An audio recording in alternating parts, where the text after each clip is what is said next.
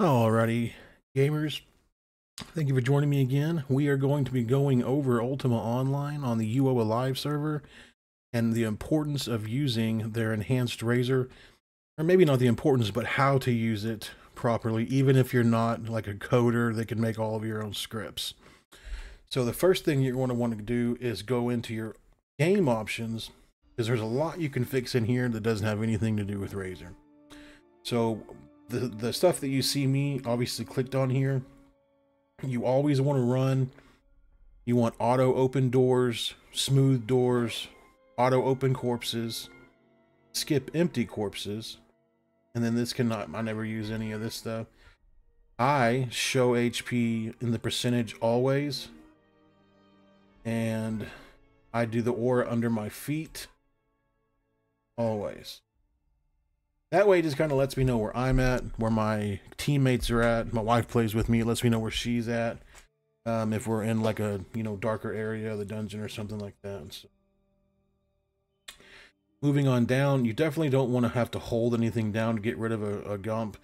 A gump is if I were to take you know several different health bars and put them all together, then I would have to like have to you know hold hold all to to move them. It's not really something that's efficient. So I move that and say closed all gumped when right click. Down here, you definitely want to close the health bars whenever the mobile is dead. You don't want them staying up and cluttering up your screen. And for grid loot, you want both.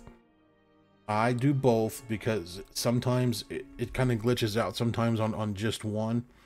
Both will give you a much easier option as well. It pulls up a bar much like this with loot in it. You're able to examine the loot, you know, while it's sitting right there and then click on it to loot it into your bag, which is extremely convenient. This is completely up to you. I like uh, to enable circle of transparency. It allows me to see myself if I'm like on the side of a building or something. So, um, like you can kind of see there a little bit. It kind of lets me know that I'm not running into a rock or a snake or I don't know, something. My luck, a demon or something. So I definitely do that. And down here, you've got should be something to there we Okay, enable drag select to open health bars. You want that because having to click on each mob to pull them up, now you can just click like this. Everything in that square will pull up as a health bar, which is extremely convenient, especially when you're doing like a champ spawn or something where a lot of enemies are at you. The second, we'll go to sound. I turn off combat music. I absolutely love UO music. It's one of my favorite uh, musics of any game ever. But the combat music, over and over and over again, especially as an archer, because I'm consistently in combat regardless. I uh, have grown to hate it, unfortunately. Um, or if you do want to leave it on and listen to it for a while and see if you can handle it, um, I personally don't like the combat music. Video, I don't really mess with anything over here. I, I haven't really seen any need to. Um, I'm guessing it's hard to say if you if you if you don't have a computer that can handle UO.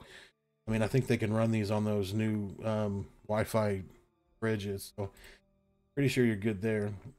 Um, tool tips, okay. Fonts up to you. Obviously, if you want something weird, like I, that's just weird, you can do that. But uh, I kind of keep it normal. Speech, you can change colors, um, but you don't have to.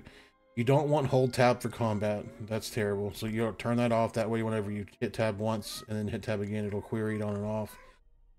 Um, if you're going to be doing criminal stuff, you may want to query before you end up doing it. On this server, it's not really that big of a deal. Single click UI buttons, that's really nice. I feel like whenever I have to double click, I'm always shifting the stuff around on the screen, which I which I don't like.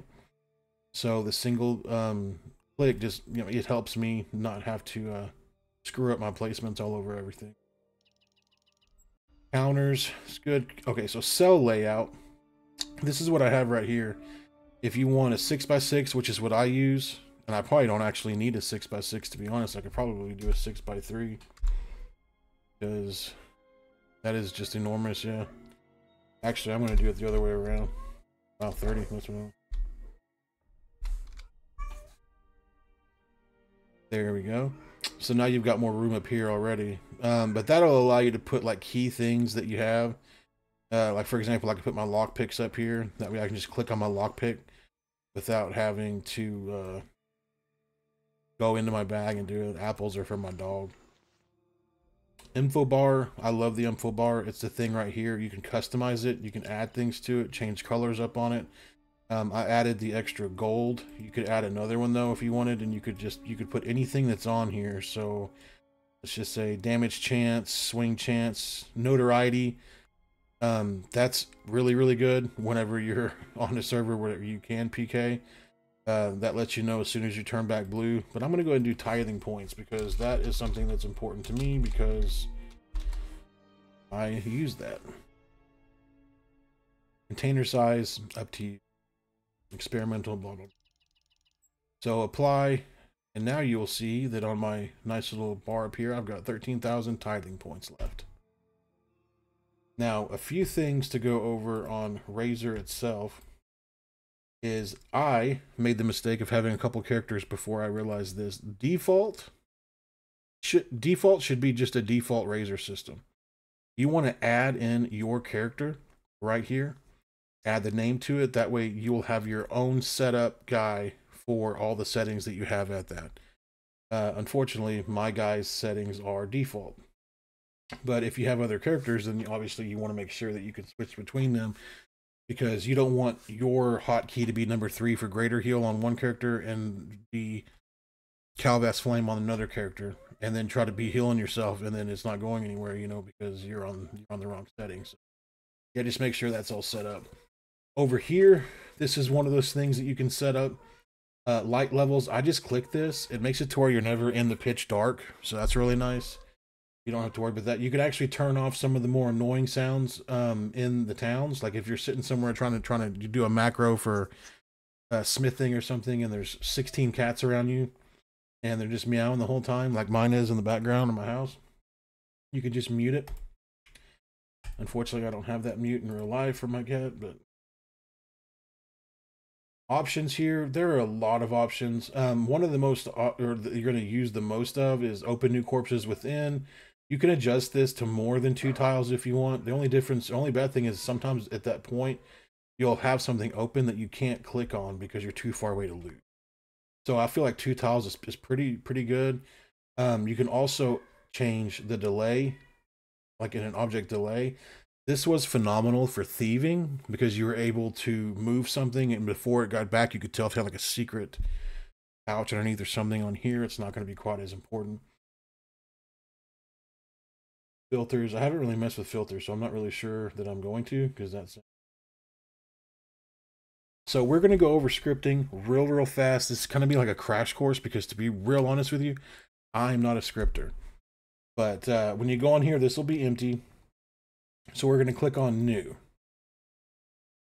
It's going to pull this up. We're going to hit record. Okay. And then let's say I want to do, I want to work on item identification. So we'll just click on that click on this bow, and as you can see, my item identification skill went up. Well, I want to do that a lot. So um, what we'll do here is we will change this weight to target to, let's say 5,000. And then we will stop recording. We will save as item ID in the Python files. Then we'll cut. Get on back to that. Now, once you do that, it's not going to show up yet until you hit add. So here we'll type in item, item ID, and there it is. So the one thing that I make the more mistakes on than anything is I'll click play here. I'll see it work, and then I'll walk off and make a sandwich or something. Not realizing that I forgot to click loop. So 30 minutes go by and I'm like, man, this thing sucks. And it's because of me, because I suck. So make sure to click loop there. And then when you hit play, it will continue to uh, go on item identification for you. We set it up for 5,000 milliseconds, so it should be every five seconds that it does that. Oh my gosh, my cat is crazy. Um, so you'll be able to go up on that. That works pretty much for most of your trainable skills that you can do stationary. Um, you can't obviously sit in one spot and train lumberjacking because the tree would rot out of wood. Same thing with mining. But for the most part, if you're trying to get hiding maxed up, detect hidden maxed up, um, a few of the other things that are simple, like the arms lore, would be very easy to max up. Um, and that's just, I mean, if you don't need them, you don't need them. I guess I'm somewhat of a completionist on this kind of stuff. I just feel like if I, if it's there, I would like to get it up and much as possible.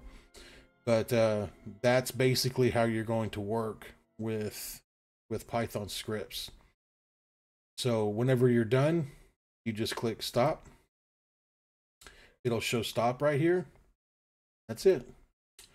Agents, you can put things here to uh, auto loot like gold, or um, let's say that they have arrows on them and you're you're an archer that you'll auto loot the gold and the arrows and that kind of stuff. So it's kind of cool to do that. Scavenger also will pick up anything on the ground that you want such as at the champ spawns when they drop all that gold you could just walk by and you're able to pick up the gold um, walk by able to pick up the arrows people drop that way you could have kind of like a, a regenerative regenerative quiver there um, but uh, yeah you'll have to go in here set the bag scavenge list add and then put the you know what you're looking to scavenge it'll put the actual serial code for that item into it and then of course it'll pick that it'll start picking that stuff up Enable scavenger auto start online. I don't mess with toolbars. I don't mess with targeting. Skills. This is just basically going to be one of your skills here. The hotkeys are where it comes in. Um, hotkeys here are, are really nice. You're going to be able to... Okay, so if you click on a spell and Chivalry Heal, this, when I press number five, this will use both my heal and my cleanse by fire.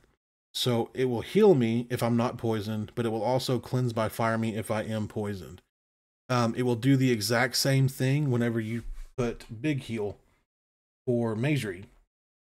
Magery will it will try to heal you if you don't have poison, and of course if you do, it will An Nox or whatever it's called um, to get rid of the poison.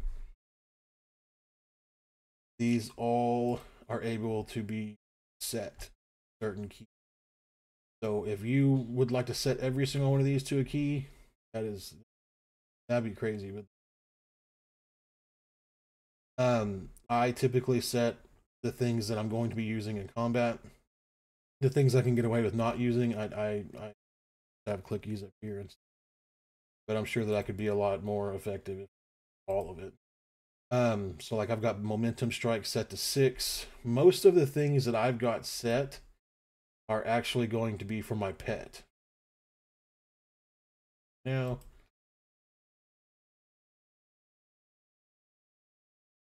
so pet commands, you know, follow me, guard me, kill, that kind of stuff.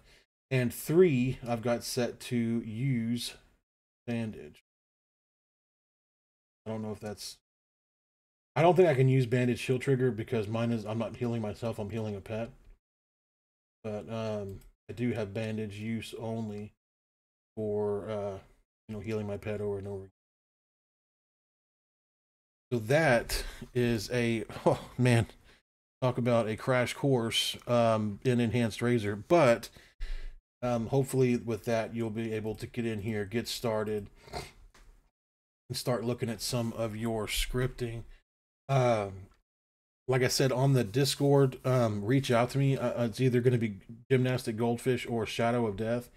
I can send you the files that have all of the uh, actual scripts in them, and it'll be everything from detecting hidden chivalry, e loot.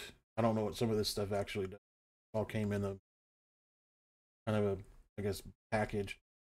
But uh, the lumberjacking one is really cool. I can I can send that one to you. It allows you just to move the move the mouse around, and as long as you're near a tree, you'll you'll you'll hit it. And it even converts it over to planks to kind of lower the uh, weight. Then as long as you turn it into shafts, because I'm guessing the only reason you'd really be using it out in the open would be to make arrows. You can do it for quite a while out in the wild um, to, to go ahead and get all those shafts and start making your own arrows and bolts. So I think that's going to be it on the Razor Enhanced. Um, like I said, if you guys have any questions, any comments, I would absolutely love to help you out um, as much as I can. Obviously, there's still a lot I don't know. But I know when I first started and, and this thing came up, I was like, I don't, I'm not a C writer. Like I, th- I thought it was like some crazy witchcraft. Um, obviously it's not. It's just not something I was typically used to seeing. Once you get used to it, it's actually pretty simple to, pretty simple to at least do the basic stuff to make your life a lot easier. So um, that'll be it for this video. Uh, if you haven't already, please like, share, and subscribe. I would absolutely love to build an Ultima Online community because this is a game that I've always loved and I'm going to continue to love probably until the day I die. Hopefully they keep the servers going. but uh, look forward to seeing you all in the next video. Thanks.